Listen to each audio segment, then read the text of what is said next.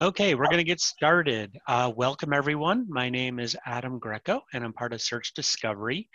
And this is another webinar in our SDEC, or Search Discovery Education Community Series. For those of you who are new to the SDEC, welcome.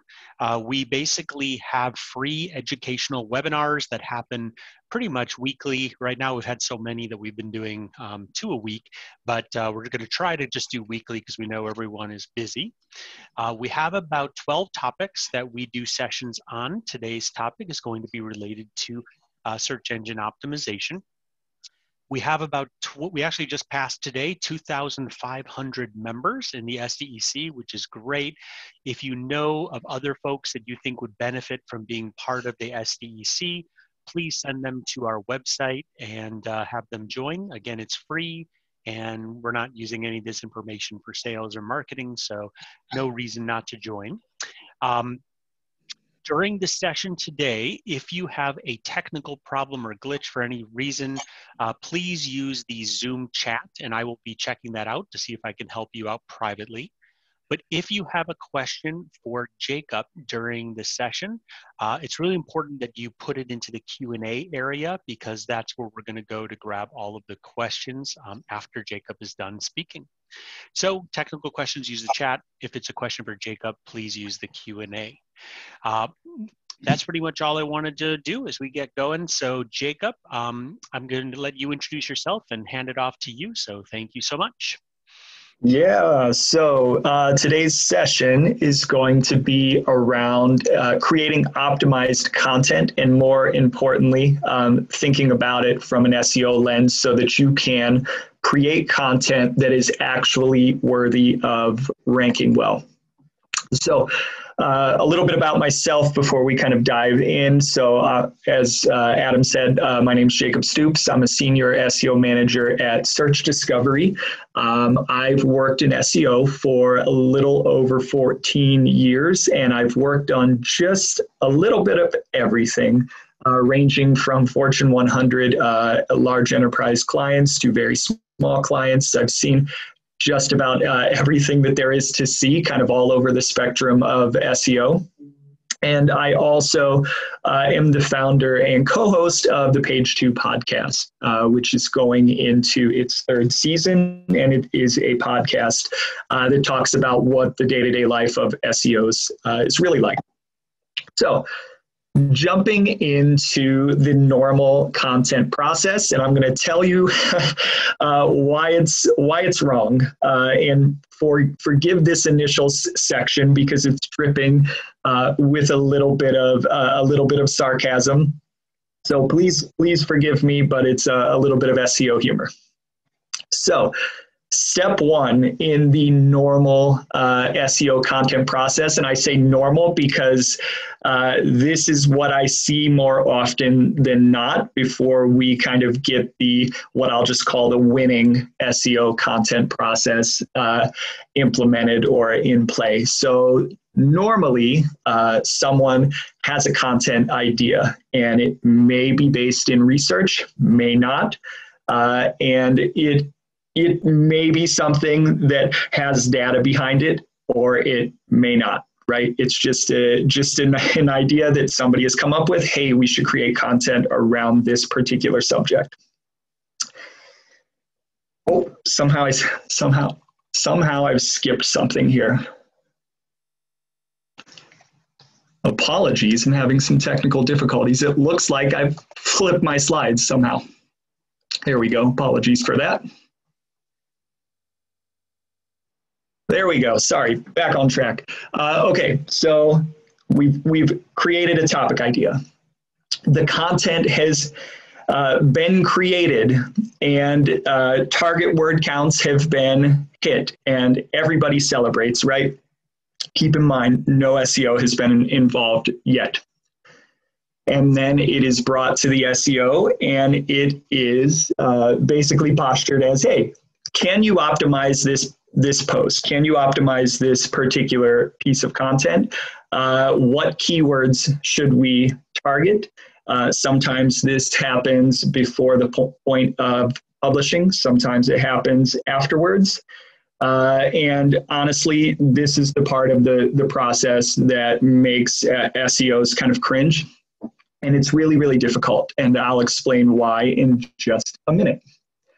And of course, uh, for those of you that are that are fans of Office Space, are we ranking number one yet? Uh, which some sometimes it can happen, but often SEOs will say, "Look, that is not how this works. It's not at all how this how this works." So. Uh, part of this goes into the um, the sort of myths or half truths of SEO in terms of how sometimes the expectations and the processes don't always necessarily align to reality. And part of the process uh, that we'll talk about in terms of doing it the right way uh, is baking a little bit of reality into, um, into the process and setting the right expectations.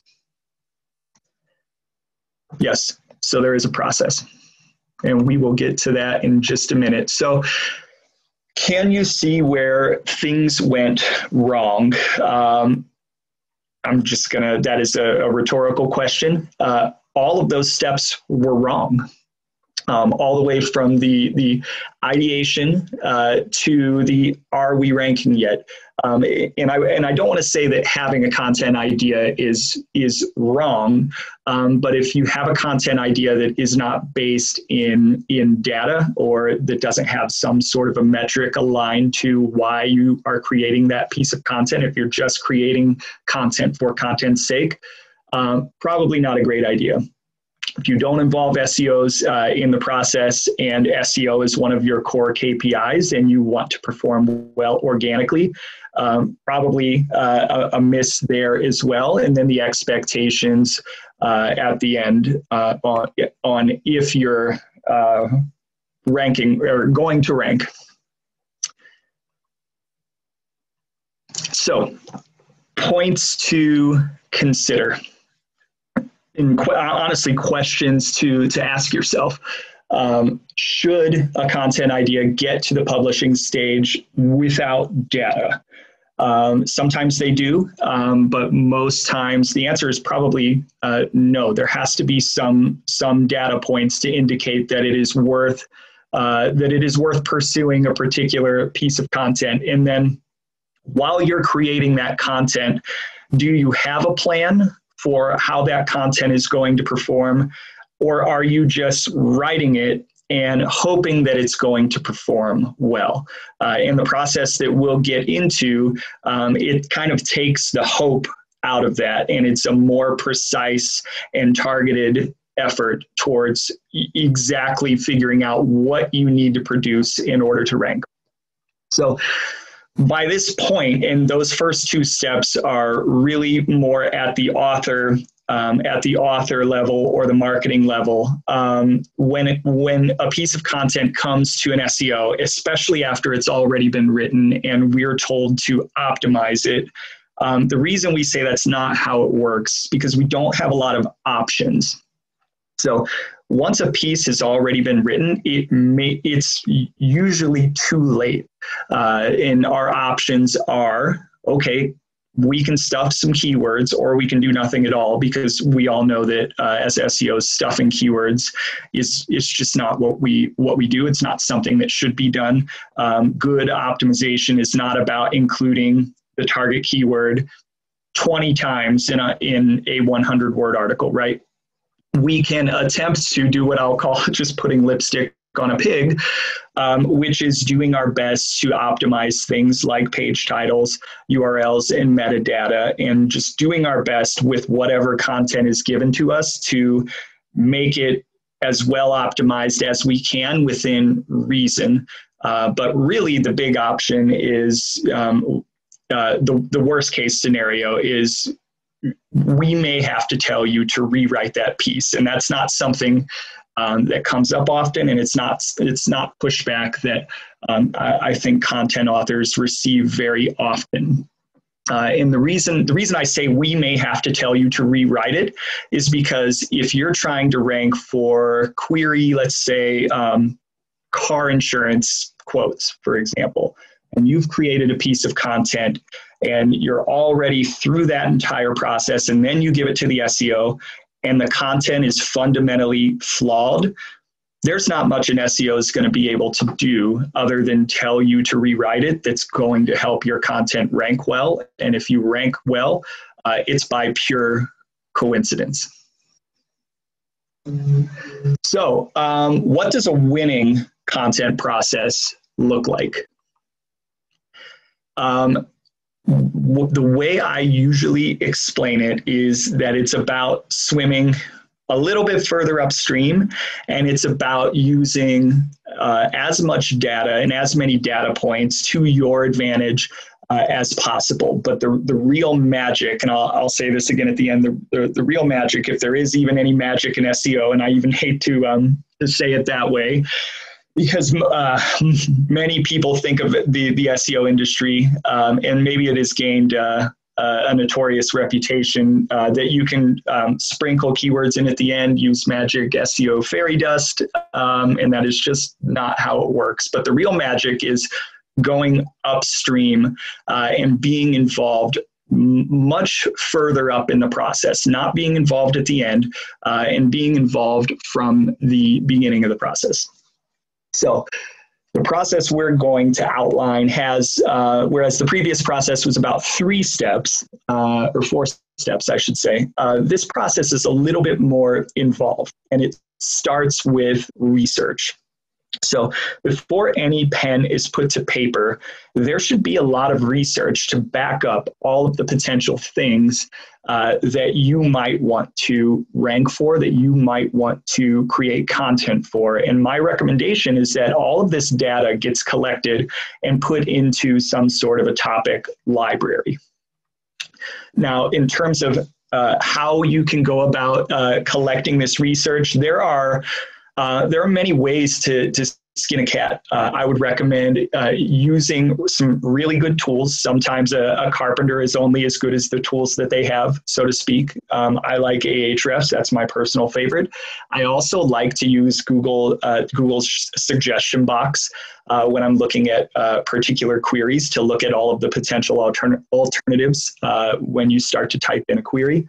Um, in this uh, in this phase, um, I recommend going very broad in terms of uh, what you might be looking for and casting kind of a wide net. Uh, this is the, the phase where no ideas are bad ideas. Uh, it's all about collecting data and collecting research.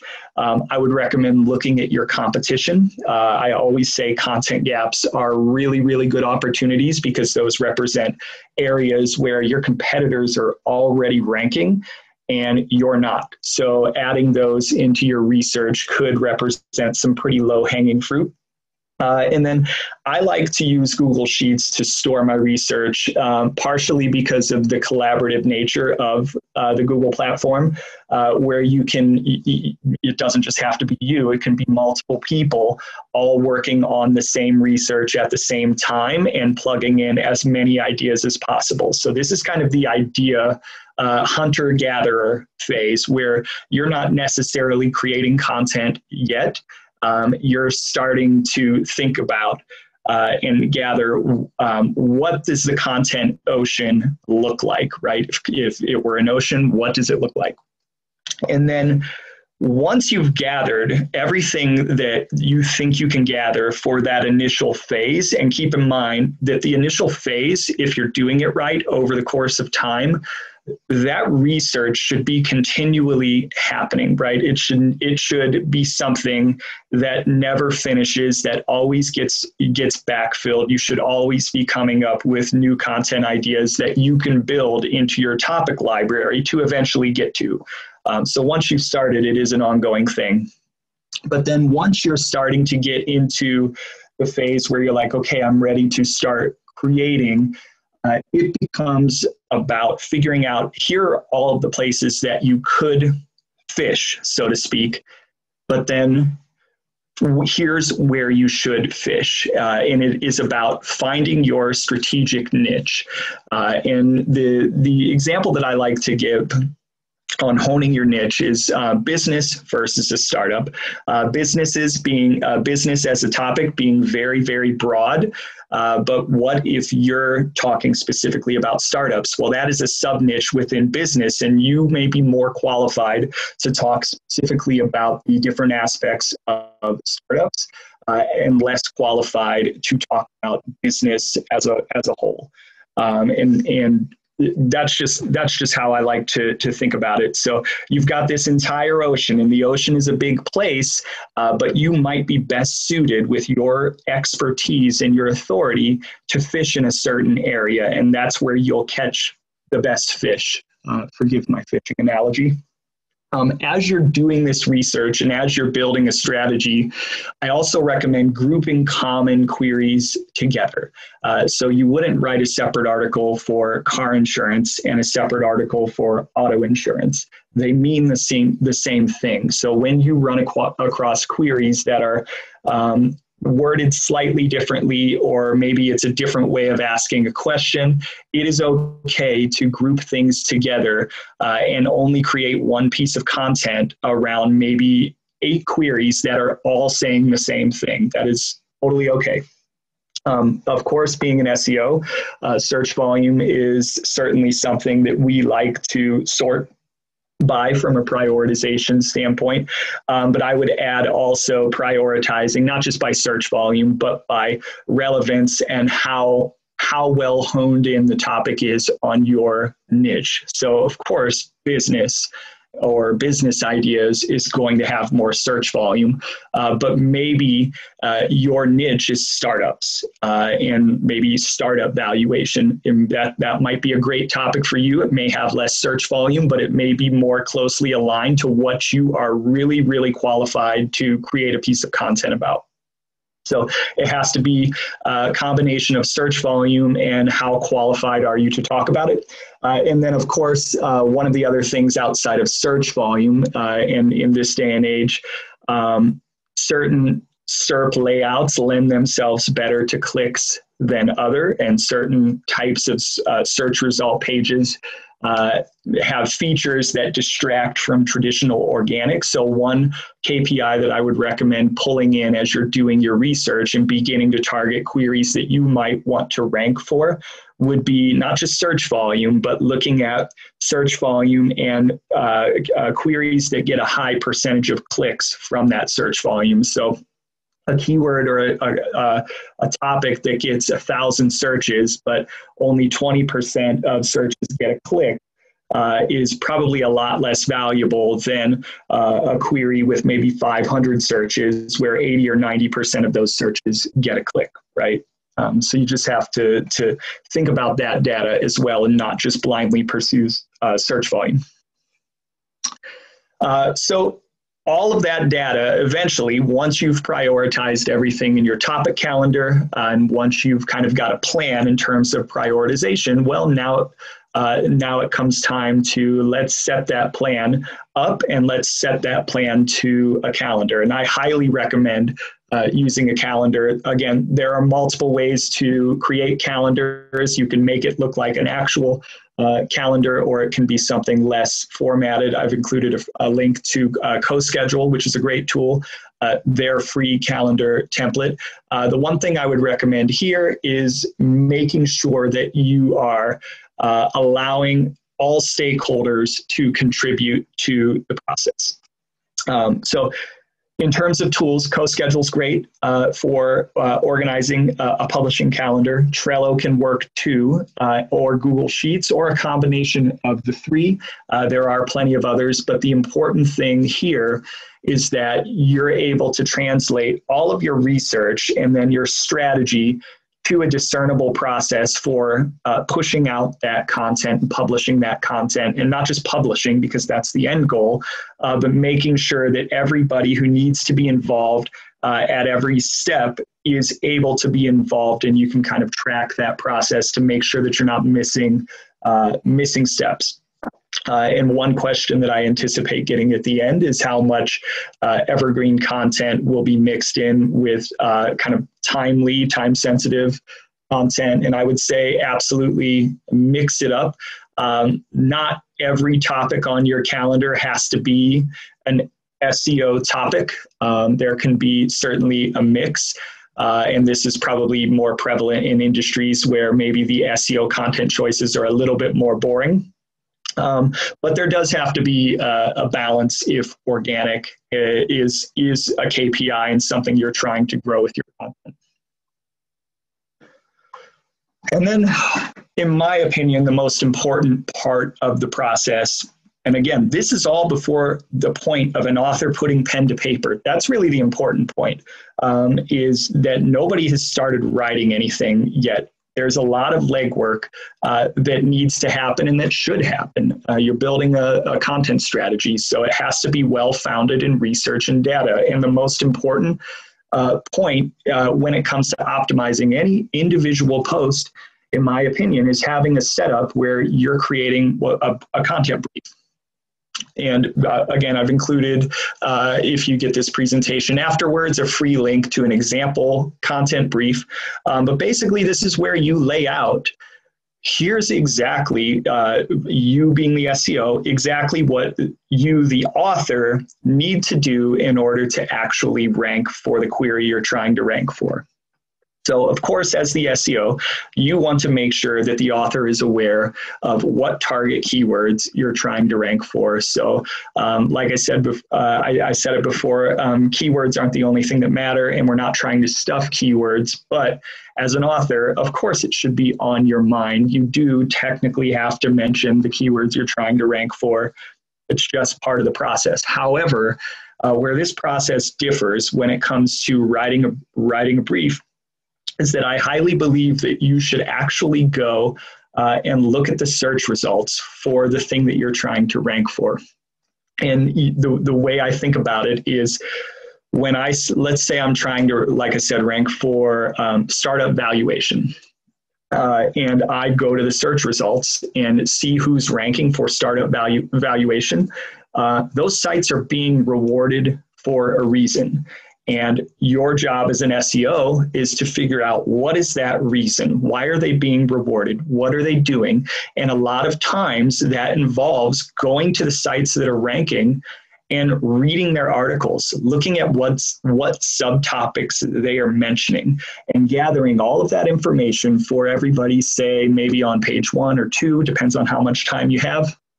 And pulling all of that information together and then turning it around to say, okay, all right, um, if we were going to write a post about this topic, uh, what would we have to do? What do we have to talk about?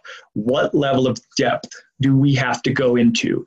Uh, and the example I, I, give, and I don't want anybody to focus hard on word count, but if you investigate uh, a, a, a, query and look at all of the people that are ranking, and you see that the average word count for sites uh, ranking in the top 10 for, for startup valuation is 5,000 words. Well, if you write a 200 word article, okay, uh, you might get lucky, but chances are you're not going to have a chance. So the the idea of looking at things like word count, it's just another data point to let you understand what type of depth is Google rewarding for the sites that are ranking well. And that's going to give you information on the level of depth that you need to go into. So doing a lot of this research up front before the author puts pen to paper is really imperative to giving the author kind of a guideline for how they need to how they need to write or what they need to talk about.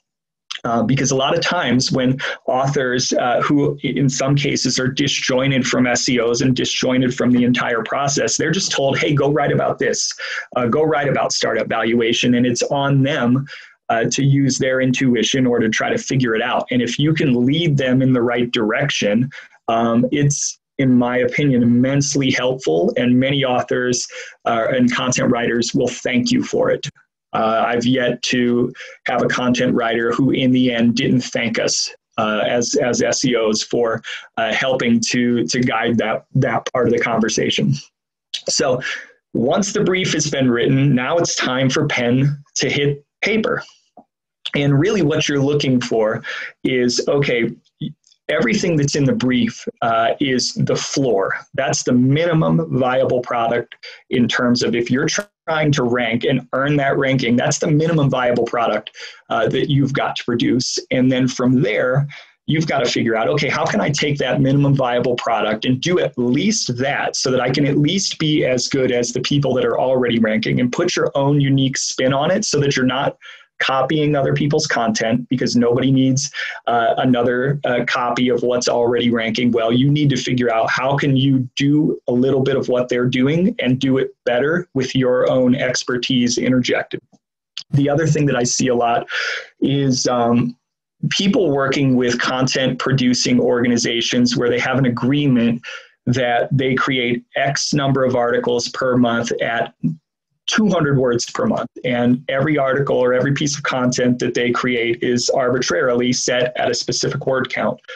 Well, if you're trying to rank for different things, different queries might have completely different approaches. Uh, some queries, it might only take 500 words, some may take 5,000. It really just depends on who's already ranking and what, uh, what the intent of the query is and how much depth you need to go into, and that can vary on a piece by piece basis. Uh, as you're executing, um, I would say, like, of course, the focus is on the content, uh, but you should also think about structure you should also think about how can you link uh, and provide helpful resources either externally or to internal pages on your on your site. Um, how can you interject uh, calls to action right? Because those are important. How can you interject relevant visuals and imagery to support your content so that it's not all just words on paper right? How can you break it up for your readers? Uh, those are all good things to try to interject into your content uh, and then, of course, the, the last round uh, before you hit publish is QAing. Uh, and this is this is the round where uh, one I don't recommend skipping it.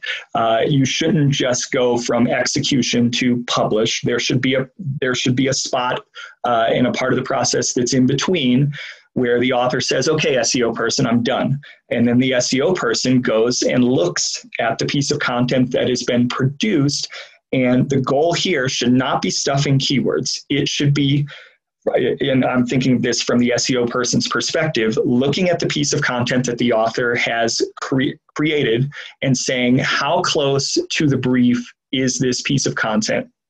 Does it hit every point that the brief outlined, or does there need to be something else? And a lot of times, um, there might be one or two rounds of feedback, and that is actually a good thing uh, feedback is okay as long as the, the end goal is not stuffing more words in, but as long as it's thinking about it from the user perspective and, and thinking about it from a qualitative perspective. And in the end, it's all about creating the best possible piece of content that is also hitting on the things that you need to do to rank well. And then, of course, on page optimization, those things have to happen. You should optimize your URL, page titles, meta description, um, again, no stuffing keywords because if you've done the process right and if you've done your research right and if the author has followed that research, all of that should be baked in. So there really shouldn't be a need to, to do that. And then uh, the last uh, the last point I'll make is that it's not over once you hit publish, not over at all. Um, so any good piece of uh, piece of content should not just be SEO content, right? Um, if you're not willing to link to a piece of content after it's been created or you want to stuff it in the footer, you don't want anybody to see it, I would say don't bother producing that piece of content, right? It's not worth it. And I know that there are organizations that that say, hey, here's the SEO content over here, and here's the regular content that we want people to see, and they don't want the two to be mixed. The goal here is to create a really good piece of content. And if you're uh, if you're creating this content, you should integrate it. You should integrate it and link by linking to it on your website. You should integrate it into your social media, your email, whatever. Um, you should point people to this really great content. And then, not only that, of course, uh, measurement and optimization is really important. Uh, once you hit publish, that doesn't have to be it. That doesn't have to be the end of the story. That's not saying you can't go back and re-update that piece of content. If you uh, if you write it and and publish it and it doesn't rank well, okay, we'll go back and figure out why. Maybe you need more. Maybe you need to change your approach. Uh, or maybe you've created a piece of content that is supposed to be evergreen, but the, the, the stakes of the game have changed and you need to go back and bring it up to date. That is perfectly okay. And once you create a piece of content, it's not the end, it is a living, breathing thing.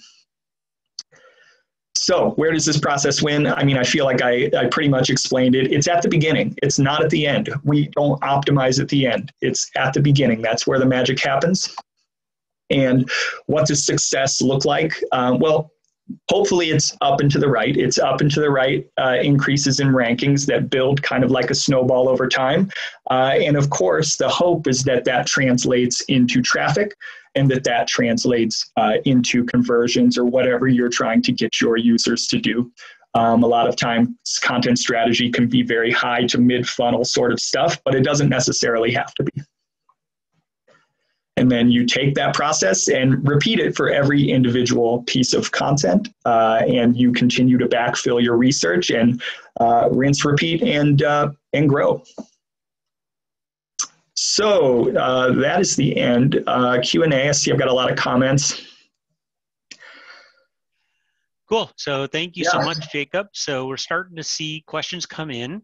If anyone out there has questions, now is the time to throw them into the Q&A area and we'll uh, start tackling them. So Jacob, I'll just uh, start uh, shouting some out to you. Um, so Elena asks, uh, could you suggest some KPIs for content creators to add to our GA or Adobe Analytics?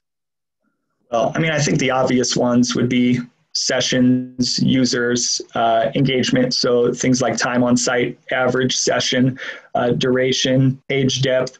Uh, but then I would also look at um, setting up specific content specific KPIs or maybe even template specific KPIs if there are things, um, specific calls to action within the content that you want to promote. You could create events around that. Um, if there are um, specific parts of your template where maybe the content is over here and then you've got a sign up for an email newsletter, that could be something um, that you would want to track. Uh, but really, I would try to really hone in on what what are you trying to, to get uh, by producing this content and those KPIs outside of your basic traffic rankings, so on and so forth, would be the most important indicators of success. Because, like I said, some content is high funnel, uh, and the goal there would be exposure. Some content is very low funnel, and the goal would be conversion. So, it's really got to be evaluated on a case by case basis. Yeah, and Jacob, one thing I'll add to that is um, I'm sure there's a way to do it in Google, but since I live a little more in the Adobe world, mm-hmm. um, there is a way that you could build an engagement score directly into tools like Adobe and Google Analytics. And Adobe, we do this through a numeric success event where you can actually compare visits that are coming from you know SEO or um, versus ones that aren't coming from SEO, and then look at what is your kind of engagement per visit. So there's some really cool things that um, I'm more than happy to kind of share uh, if anyone has questions. Um, so next question we have here is instead of estimated clicks as another metric to search volume, um, I've used estimated traffic in the past. What are your thoughts on this? I think that's by basically saying the same thing. Um, to me, estimated clicks and estimated traffic are kind of the same same thing. Maybe I'm just not understanding the the question, but it seems the same, and it seems fine. Seems fine. Okay. Uh, the next next one I have is uh, is SEMrush a good tool for query content research process? Yeah, yeah, I mean, uh, there are lots of tools out there, um, and, it, and, in my opinion, they all have um, semi decent data. Not all of them, but the, the top ones have semi decent data. And I would say Google is more and more in their own native tools restricting the data or overstating it. So these uh, these third party tools are now tending to be mm, the better the better source of of truth if you're having to pick i guess if you if you know what i mean so my personal preference is ahrefs but SEMrush is a, is a solid tool as well okay uh, next one uh, what's a good content plan for an e-commerce site? Would it be different for a telecom uh, major site having um, an online order option? Yeah, so what we often look at with e-commerce sites um, outside of uh, technical stuff would be how well are you um, optimizing your category pages? Uh, how well are you optimizing your site's navigation? Do you have all of the pages um, in terms of uh, all of the products that you have to merchandise? Do you have a category that speaks to all of those products? And is is that category or subcategory pages? Is it easy to find? Um, on your website. Uh, not only that, but if you're in an industry where there are a lot of supporting topics um, or if if there are things you can do to push to your to your category pages and point people there where you can solve questions or answer answer questions um, that would be what I would what I would focus on. But really, with with e-commerce, um, you're focusing a lot on category optimization, and you're focusing a lot on technical PD uh, product detail page optimization. Although you can't control the content as much there. Okay.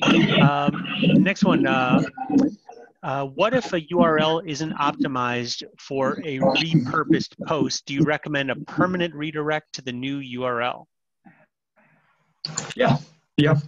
I, yeah, if you think you can optimize a particular post better, um, you can certainly set up a new piece of content and uh, in, institute a redirect. Uh, the thing that I would look out for there would be um, do you have um, any pages on your website pointing to that old version of the page? If so, you're going to want to switch that. And if you, if you, if that old page has a lot of links externally, um, I would just be careful to do that because you can lose some some equity in the transition. Um, but I would go out and try to reclaim and update those links if you have time. Okay. Um, next one. Wendy asks if the competition has 2,000 words articles and you can't come up with extra content because everything is already said, what should you focus on?